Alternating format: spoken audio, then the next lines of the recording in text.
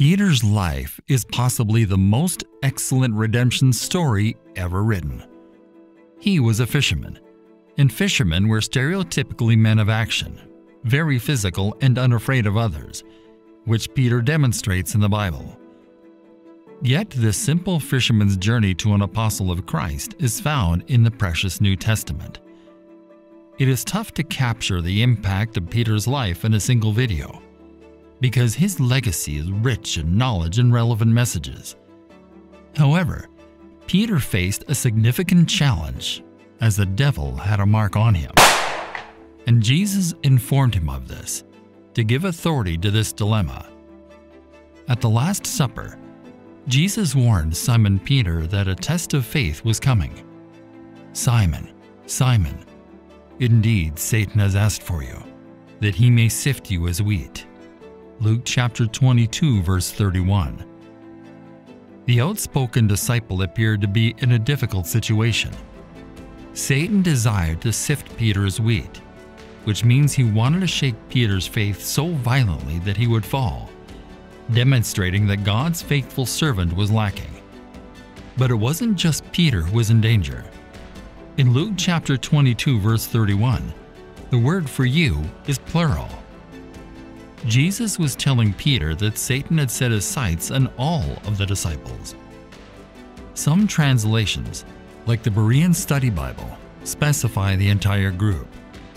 Simon, Simon, Satan has asked to sift each of you like wheat. This passage gives us a glimpse into an unseen world. It raises many questions, but it also affords many assurances, the chief of which is the chain of command. God is clearly in control, and the devil is on a short leash. Did you notice the verb that followed Satan's name? Ask. Satan has asked. The outspoken disciple seemed to be in the same predicament as Job when Satan sought to put him to the test in Job chapters 1 and 2. Job chapter 1 verse 10 Have you not put a hedge around him and his household and everything he has? You have blessed the work of his hands, so that his flocks and herds is spread throughout the land. But now stretch out your hand and strike everything he has, and he will surely curse you to your face. The devil did not demand, resolve, or decide anything. He inquired. He asked for permission to tempt Simon Peter in the same way he asked for permission to tempt Job. Doesn't recast our image of the old snake?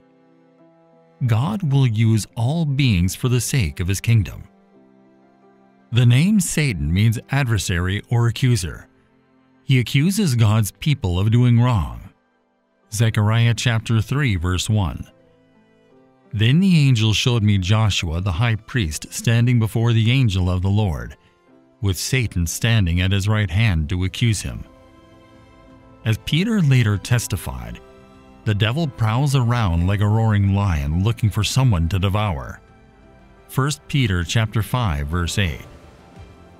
Sift as wheat is a metaphor that can also mean shake someone apart or break someone down. Amos chapter 9 verse 9 gives us a similar image of God shaking Israel. For surely I will command, and I will sift the house of Israel among all nations, as grain is sifted in a sieve, yet not the smallest grain shall fall to the ground. Wheat or other grain was sifted through a sieve or large strainer in biblical times. The dirt and other impurities that clung to the grain during the threshing process would separate from the good, usable grain as it was violently shaken. Satan's goal in sifting Peter and the other disciples as wheat was to crush them and destroy their faith. In reality, the adversary seeks to destroy every believer's faith. John chapter 10 verse 10. The thief comes only to steal and kill and destroy. I have come that they may have life and have it to the full. However, Jesus assured Peter, I have pleaded in prayer for you, Simon, that your faith should not fail. So when you have repented and turned to me again, strengthen your brothers. Luke chapter 22 verse 32. Peter's role as a leader in the early church demonstrated that the Lord's prayer for Peter was answered. Jesus did not promise to take away Peter's upcoming test. He prayed that his faith should not fail. In the Christian life, trials are to be expected. We must go through many hardships to enter the kingdom of God, say the missionaries in Acts chapter 14 verse 22. God uses these experiences to shape our character, strengthen our faith, and make us more like Jesus. Romans chapter 8 verse 28.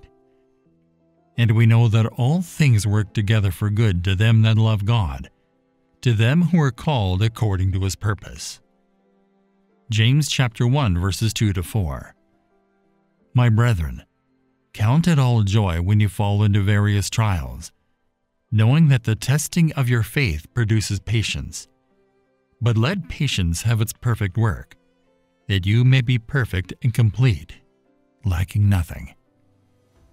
1 Peter chapter 1 verses 6 to 7. In this you greatly rejoice, though now for a little while, if need be, you have been grieved by various trials, that the genuineness of your faith, being much more precious than the gold that perishes, though it is tested by fire, may be found to praise, honor, and glory at the revelation of Jesus Christ. James chapter 1 verse 12. Blessed is the man who endures temptation, for when he has been approved, he will receive the crown of life which the Lord has promised to those who love him. Romans chapter 8 verse 29.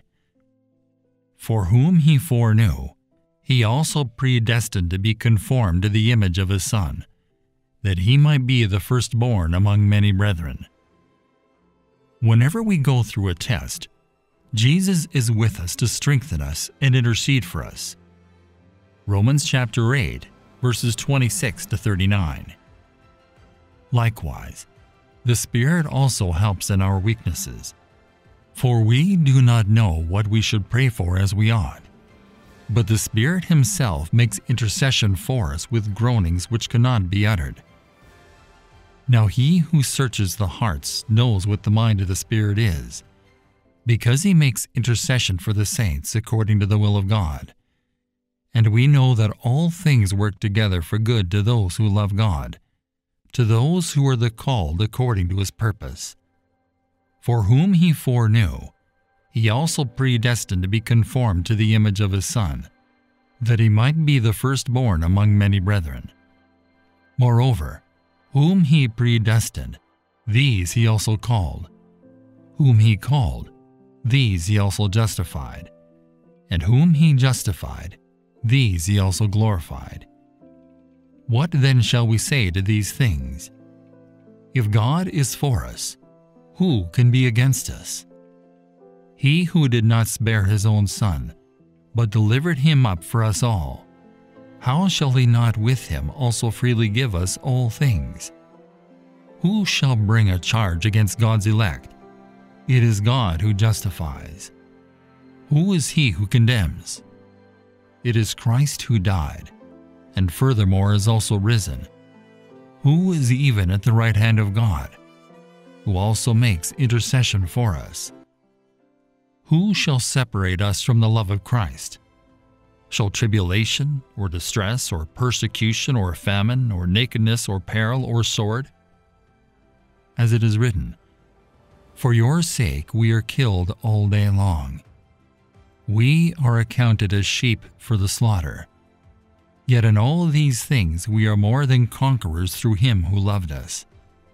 For I am persuaded that neither death nor life, nor angels nor principalities nor powers, nor things present nor things to come, nor height nor depth, nor any other created thing shall be able to separate us from the love of God which is in Christ Jesus our Lord. Philippians chapter 4 verse 13 For I can do everything through Christ who gives me strength. It's comforting to remember that Satan's power to sift Peter's wheat was limited by Christ's intercession. When Satan comes after us, we must remember that Jesus Christ is always present to intercede on our behalf. Hebrews chapter 7 verse 25. Therefore he is also able to save to the uttermost those who come to God through him, since he always lives to make intercession for them.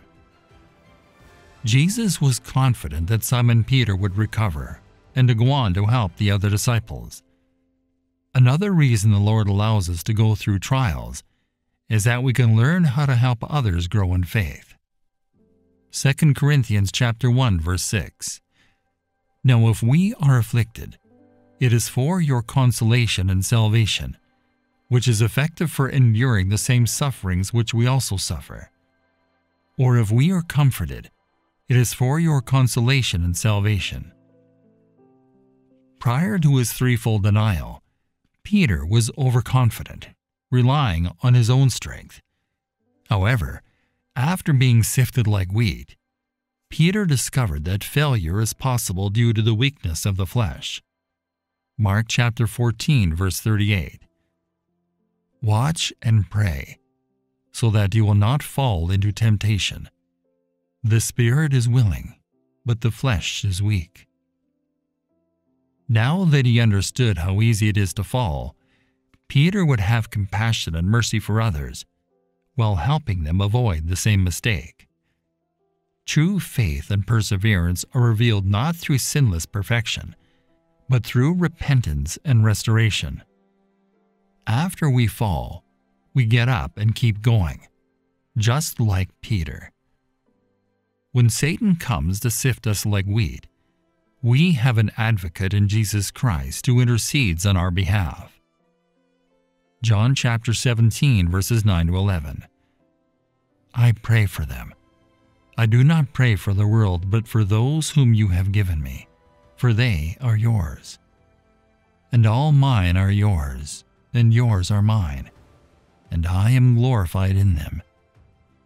Now I am no longer in the world, but these are in the world, and I come to you.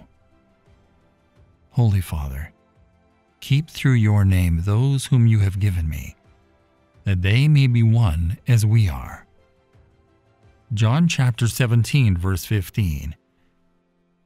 I do not pray that you should take them out of the world, but that you should keep them from the evil one. He will shield us, so that the devil will never be able to destroy our faith and hope. John chapter 10, verses 27 and 28. My sheep hear my voice, and I know them and they follow me. And I give unto them eternal life, and they shall never perish, neither shall any man pluck them out of my hand. Hebrews chapter 7 verse 25. Therefore he is also able to save the uttermost those who come to God through him, since he always lives to make intercession for them. Jesus Christ began a good work in us and he will see it through to completion.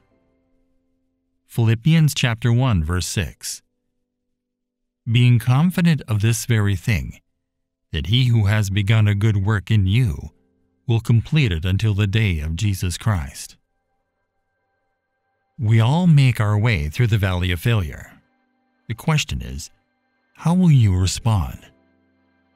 Many people give up and trade a vibrant kingdom serving life for a defeated life. Failure, however, does not have to be the end. It is an opportunity for a fresh start in Christ's strength. The enemy hoped to shake Peter's faith so hard that he would fall away from Jesus like chaff. Peter was adamant about keeping his promise to Jesus. Even though all may fall away, yet I will not. Mark chapter 14 verse 29. But Satan is well aware of the power of fear. When Satan sifts believers, his goal is to weaken our faith to the point where we are no longer useful to God. He wishes to keep us out of the way of the Lord's kingdom's action. As a result, he targets our weaknesses, the areas where we believe we are invincible, or at least very well protected. We are disappointed and demoralized when the devil succeeds, but that doesn't have to be the case. God can use failure to do spiritual house cleaning if we are willing. Peter put down his pride and put on the courage of the Holy Spirit. Following that, he risked humiliation, persecution, and death to spread the gospel. Failure served as a catalyst for greater faith and true servanthood. It is a great encouragement to know that God is always stronger than Satan, and that by faith in Him, we can avoid Satan's destruction and gain a crown of life. But the text is not yet done. God's word of consolation and hope goes farther.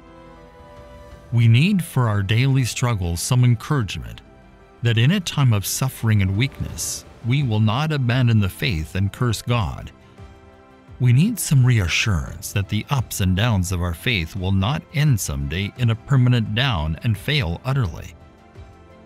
And Jesus gives us that encouragement and reassurance in verse 32. Simon, Simon, behold, Satan demanded to have you that he might sift you like wheat. But I have prayed for you that your faith may not fail. And when you have turned again, strengthen your brethren. It is encouraging to know that God is infinitely stronger than Satan, in that if we simply trust God to the end, He will give us eternal life. But it is doubly encouraging, doubly hopeful, that Jesus Christ and God the Father do not stand back and watch to see if we will have the strength to endure in faith. In fact, I am sure that if the Holy Trinity were not busy day and night strengthening my faith, it would evaporate in a minute. Notice Jesus prays to his Father for Simon. Now the word you is singular in verse 32. I prayed for you. That is Simon. He asks God to do what needs to be done in order to preserve Simon from destruction. And Jesus is completely confident that his Father will answer his prayer, because he says, And when you have turned, strengthen your brothers. Jesus knows that Simon will deny him three times. He says so in verse 34. But evidently, Jesus does not consider this brief denial to be the utter failure that Satan is after. It is a temporary weakness, a brief faltering of confidence, but it is followed quickly by bitter tears of repentance. Luke chapter 22 verse 62. And turning. Jesus knew he would turn from his sin because he had prayed for him, that his faith not fail utterly. The Father granted Satan the power to sift Simon, but in response to Jesus' prayer, he did not let Simon fall through the sieve nor will he ever let any of his children fall through Satan's sieve. Here is the double weapon of hope and encouragement that he gives us. Not only is God willing and supremely able to save forever all of us who trust him, he also conspires with the Son to keep us trusting to the end. We are not left without a shield against the enemy, nor are we left to hold the shield of faith merely by our own strength. God will always see to it that faith has the victory and that his children have faith. This is the meaning of that terrific text in 1 Peter chapter 1 verses 3 to 5. Blessed be the God and Father of our Lord Jesus Christ, who according to his abundant mercy has begotten us again to a living hope through the resurrection of Jesus Christ from the dead to an inheritance incorruptible and undefiled, and that does not fade away, reserved in heaven for you, who are kept by the power of God through faith for salvation, ready to be revealed in the last time. We have been born again to a living hope through the resurrection of Jesus Christ. John chapter 10, verses 27 to 30. My sheep hear my voice, and I know them, and they follow me. And I give them eternal life, and they shall never perish, neither shall anyone snatch them out of my hand. My Father, who has given them to me, is greater than all, and no one is able to snatch them out of my Father's hand. I and my Father are one. No one can take them from my hand or from my Father's hand, because we are one hand, and it is mightier than all. That same promise is extended to all of God's children. Hold on to it, and be encouraged by it whenever you begin to doubt that your faith in God will last. The strengthened becomes the strengthener. The joy we have in God's promises is always multiplied when it spills over the brim of our lives and onto others. What about the remaining 10 apostles? We can learn a lot from this. God will sometimes deal with you directly, strengthening your faith alone in the early morning hours. However, the majority of the time, perhaps 10 elevenths of the time, God strengthens our faith through another person. God sends us Simon Peter, who brings us just the word of grace we need to keep going. A testimony about how weeping may tarry for the night, but joy comes with the morning. Psalm chapter 30, verse 5.